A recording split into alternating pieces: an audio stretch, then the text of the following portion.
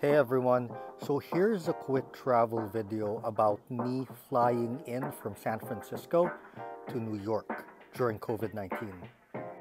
I hope this video gives you a better idea of how the airports are during these times. You know, like how the crowds are, how is social distancing being enforced, for example, any travel requirements, you know, are you going to get blocked in certain airports? So yeah, hopefully you find some value in this quick video.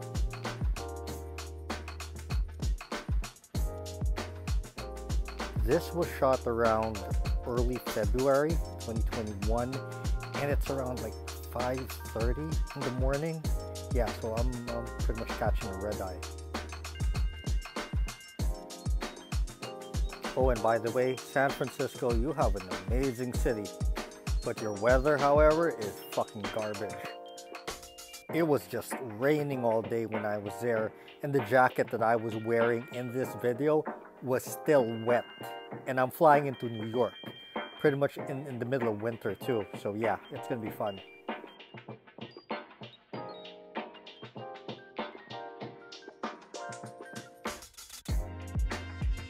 Lately, I've been traveling light, so I don't have to check in any luggage and that kind of spares me from the hassle of going through the whole check-in lines at the terminal. However, what I did notice was that there are still lines at the check-in counters. So, you know, just come in early as you normally would because I've seen some of the lines, especially in JFK, that were long.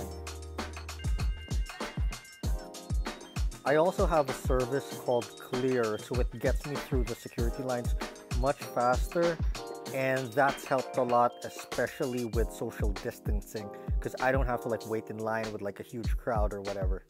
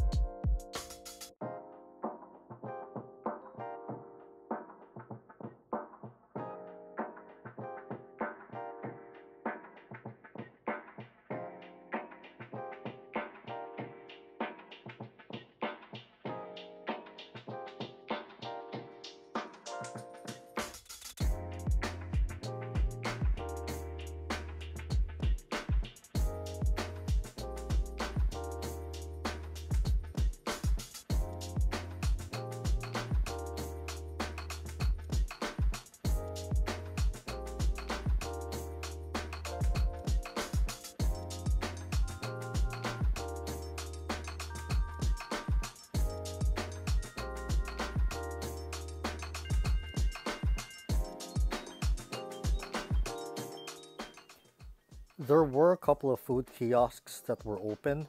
So yeah, if you wanted to grab a coffee or like a sandwich or something just to eat, especially for guys like me traveling pretty much transcontinental, there are a few spots that are open at this time of the day, but you know, it's airport food, so you're you're going to pay a lot of money.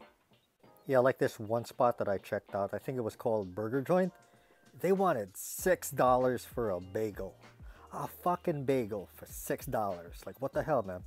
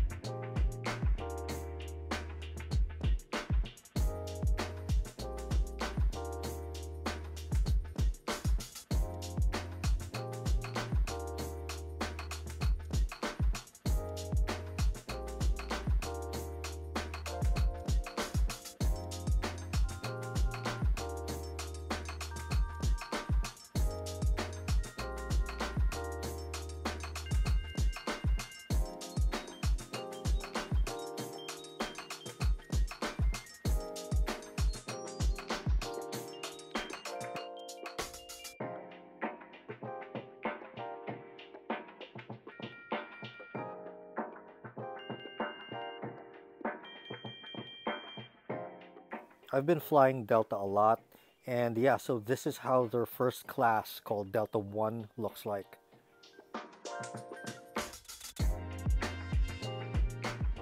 This is me sanitizing uh, my seat with the wipes that they will hand to you once you board the plane.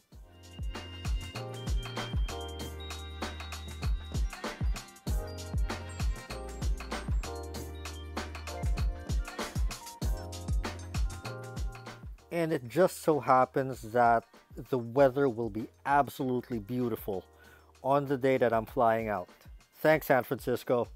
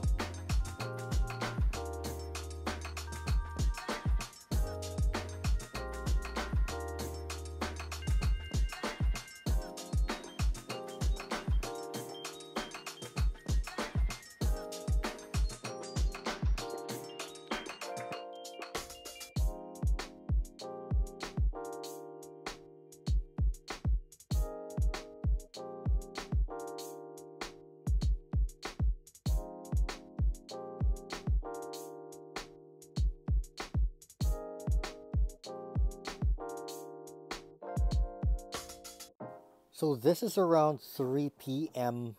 Eastern. And this is typically light traffic. I guess because I've landed here, you know, like a few weeks ago, and there were way more people um, around like the same time. So yeah, so your your experience may vary. As of the time that I'm filming this video, New York State still requires you to fill up a travel form. So yeah, um, you'll see that towards the end of the video as I pretty much exit the airport. That's where they stop me. But I've been on some flights where, you know, you have the National Guard stopping people right outside the, the gate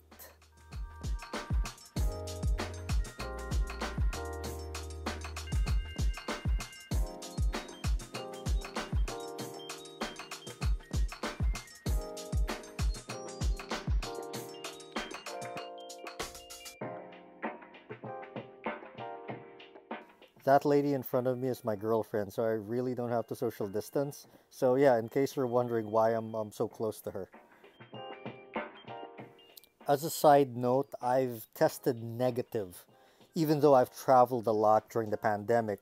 So yeah, I, I mean, you know, just, just follow the rules, wear a mask, you know, don't be stupid, social distance. And yeah, like I, at least for me, I, I was lucky and I've been okay.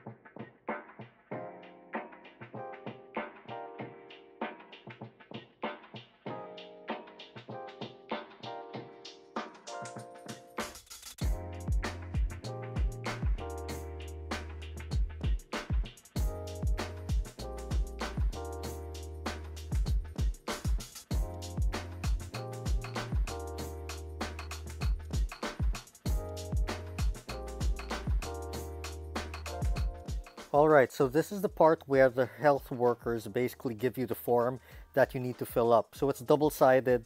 I mean, pretty straightforward questions, nothing crazy. I would suggest that you keep your flight number and your seat number handy because you have to write that down. Like this lady right here, she actually checked my form to see if I have everything uh, listed correctly. Yeah, so it's it's nothing really serious. Like they don't check your temperature or anything, or they don't require um, a negative COVID test entering into New York. But they do recommend like you you go into quarantine once you're in New York. How they're enforcing that, I I'm not sure because I I don't live in New York. I live in a bordering state, so I'm kind of exempt from it.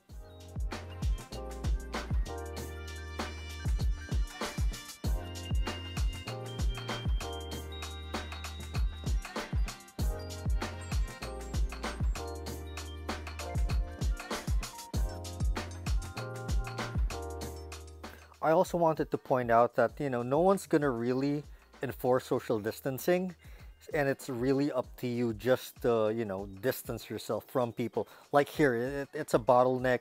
Some people don't uh, social distance. I try to maintain my distance from people. But yeah, just so you guys know.